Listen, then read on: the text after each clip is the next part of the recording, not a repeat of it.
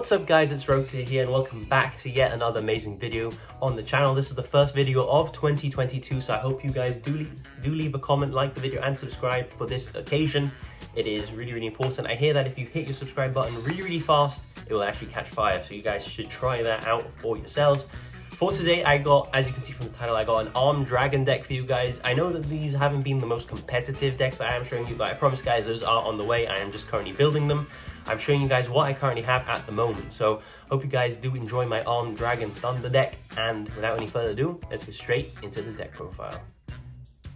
So starting off with this deck profile here, we are starting with the heart and soul of the Armed Dragon Thunders. We have the level 3. He is the most important one because he's the one that gets everything started in a way. And they all have this effect, so I'm going to quickly just read it now.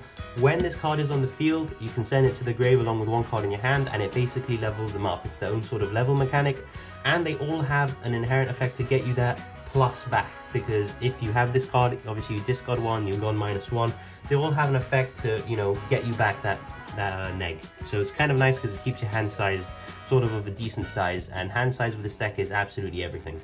So Armed Dragon Thunder apart from specialing out level 5 from the deck when he is you know sent to the grave by his effect you can draw one card. So he's really really nice because potentially draw you into hand traps or potentially just more on dragons that you need to discard for another three up here, we have triple of the Armed Dragon Thunder, level 5. Again, same effect as number 3, but when he goes to the grave, adds you a Wind Dragon monster. So this is really useful because not only does it add your Armed Dragon Thunder monsters, it can help grab your Tempest, which that card in this deck is crazy. Or you can even add a hand trap, guys, that I will be showing you later, the hand trap that you can search up. But this guy is a, can search you hand traps, isn't that crazy? So for the next one here, we have Arm Dragon Thunder level 7. Again, three of each because you sort of go through them really, really quickly. And he has the same effect to special out the big level 10 guy from the deck, but also when he's sent to the grave, he adds you any Arm Dragon card from your deck to hand. So he is the Rota, and the Arm Dragon cards, I play the ones that basically get you hand size back, so you're never really down on hand size. Hand size is kind of essential to this deck. It's like live or die by your hand size. For the level 10s, we have two Armed Dragon level 10 whites. He was a really, really cool addition that Konami decided to make. So how this works is he has to special summon himself by banishing levels equal to 10. So that can be a 7 and a 3, two 5s or one 10. But basically he specials himself out and he's really neat because in the battle phase he can pop cards and he also adds you the White Veil. I'm not playing the White Veil, which is a spell card because I don't actually think it's that good and it's sort of a brick. You don't really want to be seeing it that much in your hand, so I just decided to cut it all together for a more useful card. And also, if you are going to get a burn deck, well, you can't lose anymore because you take no effect damage while he's on the field. For the other level 10s, I'm playing the OG, Armed Dragon level 10. Uh, yeah, he was really difficult to bring out before, but now he's actually really easy. You just need a level 7. And if you don't know what he does, you can send one card from your hand to the grave and it destroys all face-up monsters your opponent controls. So it's kind of useful with 3000 attack. They both have 3000 attack, that's 6k, and then you can rank them up into level 10 and do the extra 2k. That is why this is a going second deck in my opinion, because it's actually really good for the OTKs. And then we have his new retrain Arm Dragon Thunder level 10. He has a bunch of effects I'm not going to be going into, but essentially he's also really, really nice. You only play one of each because we want to keep the level 10s down because we're already playing four of them and you don't really want to like you know turn this deck into like a brick fest so that is why i'm playing these ratios you can of course experiment i've seen people play two of him but i just want to stick to the one he's a complete brick in your hand you want him in the deck so that is it for the Armed Dragon monster part. Now we're going to move on to like the supplementary uh, monster here. It's triple artillery catapult turtle. He's sort of like a Lonefire Blossom. If you don't know what he does, you basically normal summon him and you tribute himself and you special summon a level 5 straight from the deck, ignoring its summoning condition. So basically it just skips the whole level 3 process and is really useful that way. Helps, can also help you get like two level 5s on board and go for Xyz plays is just a really neat card. It was between him or Win the Wind channel, I just think he is a lot better. For our other uh, dragons that we are playing, we are playing one Tempest, as I mentioned before, he is a Wind Dragon searchable, and he is really, really good because what he can do is he can search you other dragons from your deck to hand, and we are playing hand traps, guys, that are dragons. So that means we can search all the hand traps apart from one that we are playing, and also he's really good because he comes back. He's really good at recursion. I don't know if you guys have noticed, but there are a lot of level 7s in this deck. He's a level 7 unlocks basically your level 7, you know, Xyz pool. So that is why we are playing him, he's essential in this deck. Well, since this is going second deck, we are playing one Pankratops. Again, he is level 7, but we don't really use him as Xyz material because he just special summons himself to the board and pops a card, usually back row, to assure that your Arm Dragon effects do go through. For the hand traps, just get the generic one out of the way. We're playing triple Ash Blossom and Joyous Spring. I feel like this card just hits every single deck and there's no reason not to play it in a deck like this where you sort of need to go second and you know stun your opponent enough that you can kill them. I feel like Ash Blossom is really, really nice.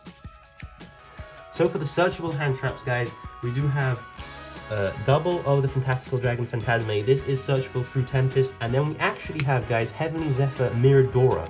So I bet you guys haven't seen this card in a while. This card was hyped to be an incredible hand trap. It's actually not that good in most decks, but this deck can actually search it, meaning that this is a crazy card. If you don't know what Phantazmay does, basically, if you are going to go second, he can sort of fix your hand. And what is really, really important about Phantazmay, guys, he protects you from Effect Veiler and Impermanence. So what does that mean? It means that your Armed Dragon monsters are safe and can resolve. Even though, you know, they send themselves to the grave, if they're hit by an, an Imperm on Effect Veiler, they will resolve without effect. So that is why we have the Phantazmay. And the Heavenly Zephyr Miradora, guys, if you didn't know, he, his effect and activation can't actually be responded to. If your opponent summons a monster with 2000 or more attack from the extra deck, he specials himself out, so another body, and they're both level 7, if you haven't realized, for more Xyz plays. And basically, he targets face a monster, opponent's monster of special summon from the extra deck, and basically just blankets it as long as it's on the field. So it's actually a really cool card, and it helps go with the, you know, Wind Dragon and level 7 uh, theme that I have going in the deck. So I feel like these two hand traps, they may not be the best, but they are searchable, and they are really, really cool in this deck. Moving on to the spell cards here, we are playing triple pot of extravagance. As I mentioned before, you live and die by hand size in this deck. You really, really do need those plus ones when you can get them, and pot of extravagance does exactly that.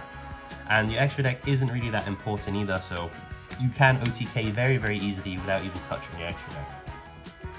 The other spells, we are playing triple of the Armed Dragon Flash. This is sort of like the E-Telly for the deck only does a level 3. I don't know why they did that. They should have done level 5 or lower.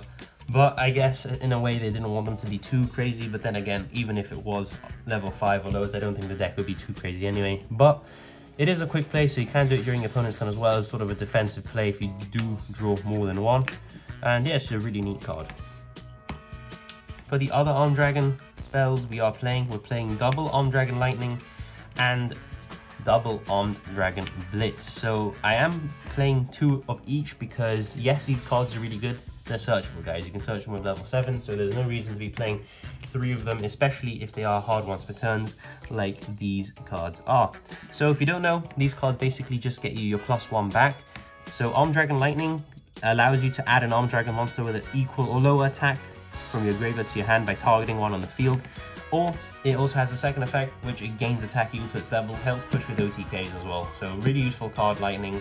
Usually use it for the recursion back to your hand for more plays later on, and yeah, just really useful. And Armed Dragon Blitz, if you don't know, it basically just specials a monster with the same level and name, so you can get two level 5s on board, two level 7s on board, ignores their summoning can do. They can't attack directly, but it doesn't matter because you're going to be using them as uh, Xyz material at that point.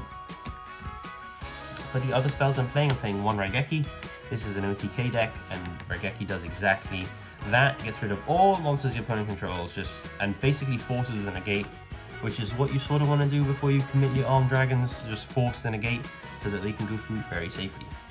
One Monster Reborn, again helps with Xyz plays, sort of really useful in an OTK deck. One Call by the Grave to play through hand traps, one Harpy's Feather Duster to deal with back row, and one Red Reboot again to deal with those back row decks. So that is it for the main deck, guys. It is, of course, 40 cards. And we're going to be now moving on to the brief extra deck that I have made for you.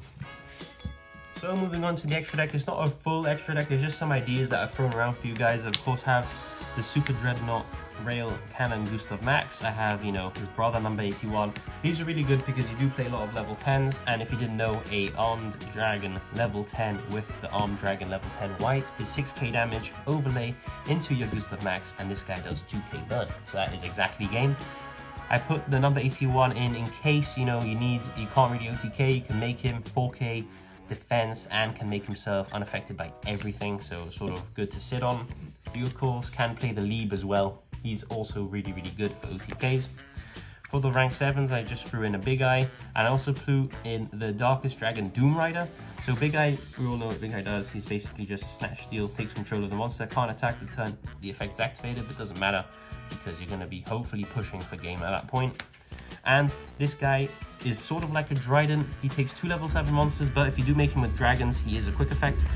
If you don't know what this guy does, he can target one card, one face-up card on the field and destroy it. And if you destroy a monster, you can make a face-up monster you control gain the attack. So you can make your Arm Dragon Thunders really, really high in attack and maybe potentially hit the 10,000 attack for its super, you know, ability that will activate at 10,000 attack.